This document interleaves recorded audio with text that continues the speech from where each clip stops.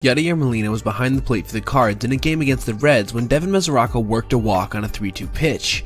Eugenio Suarez, the runner on second, had just one job, move to third. Seems simple enough, right? Not when you're facing Yadi behind the dish. Molina saw that Suarez had his head down as he approached and slightly rounded the bag at third, prompting the future Hall of Famer to fire a throw behind him just in case. This worked to perfection, as Jedd Gyorko applied the tag to the stunned base runner, ending the inning in one of the most embarrassing ways possible.